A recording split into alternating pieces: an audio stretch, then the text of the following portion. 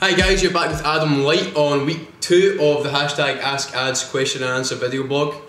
Okay, this time I have a question from Billy Brooks who says, What are the best exercises to build solid abs and the best pre and post workout nutrition? First of all, thanks very much for the question, Billy. I appreciate it. Um, I'm going to keep these video blogs really simple and easy to follow, so I'll tackle the first part of your question for you now on the abs exercises, and you'll be able to find a much more detailed sort of video blog section on nutrition coming up on my website at the end of January when it launches. Today, however, I'll give you some details on how I structure my abs training and explain briefly why I do it in that way, along with a couple of my own tricks to kind of make abs training that a little bit more effective, alright? Then I'm going to show you a quick video of a circuit I would make to kind of blast my abs at the end of a gym session and I'd maybe do that every sort of second workout, I don't do it every time guys. So we've got the rectus abdominis right down the middle, that are the kind of six pack muscles if you like.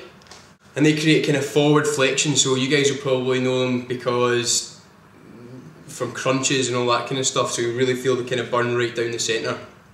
Then we're going to work the internal and external obliques, which twist and rotate the torso and give you that kind of good sort of V shape at the bottom of your abs that everyone kind of kind of sort of looks for. Then we've got the lower back, really important guys. It's made up of the quadratus lumborum, the multifidus, and the erector spinae, which won't make much sense to most of you, but they're muscles that really support all the big lifts like your squats and deadlifts and all that kind of stuff.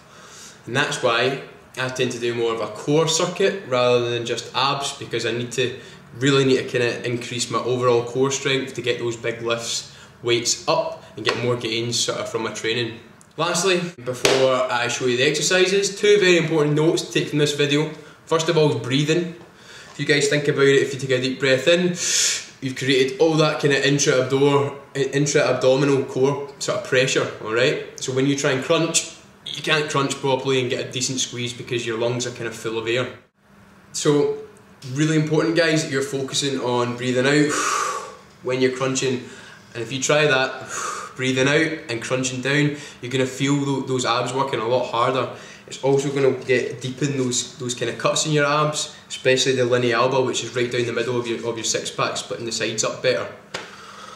And the tempo. It's not a race guys you shouldn't you should be thinking about getting the most out of each each exercise and focusing on the squeeze thinking am I getting the right burn in the right muscles that I'm trying to target here?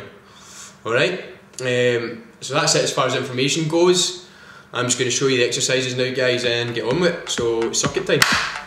I'm going to start off with one for our upper abs and then lower abs and then each side of our obliques and then onto our back. So first exercise I'm just going to explain each one first of all and then I'm going to do about, I don't know, 12 to 15 reps of each to kind of show you how it looks all, all together as a circuit. Shouldn't take more than sort of two, three minutes. Um, you guys can repeat it two or three times, I'm only going to show you once. okay, so I'm going to bring the legs up, I'm going to work the top half first of all. So we're just going to do a basic support your neck and breathe out. Crunch, squeeze at the top, nice and slow on the way back down. Breathe out crunch, squeeze at the top, nice and slowly back down. So you're going to make sure you're keeping your shoulders slightly off the floor and keeping your core engaged all the time. Next one, I'm just going to put my hands out to the, to the side. The mistake a lot of people make in this one is swinging their legs from here all the way up. So all you're doing is creating momentum with your legs to lift your bum off the floor. You want to take the momentum out of it and get your lower abs working at the bottom. So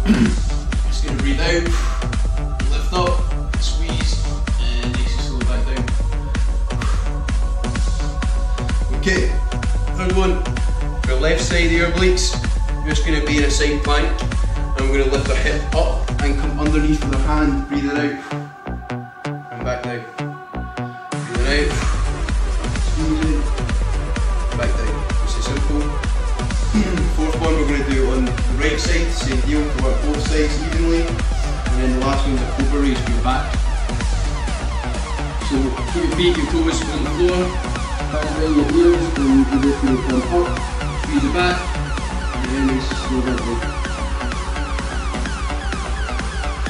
Okay? Go. Right. Bucket time, so 12 to 15 reps of each. So again, focusing on my breathing, focusing on, on the control I've got in each exercise. So I'm not rushing through it guys, I'm thinking about what I'm doing.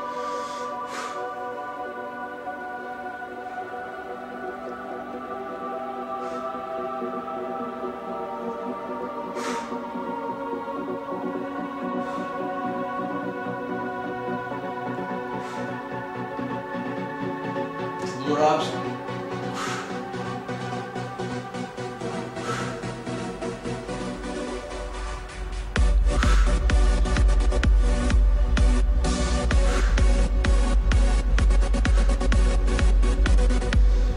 the So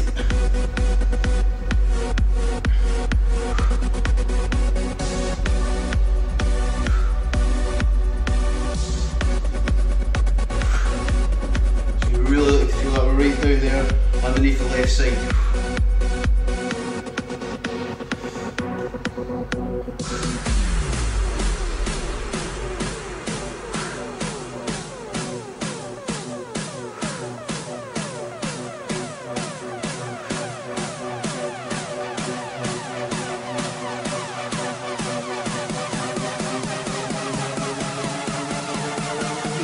last but not least.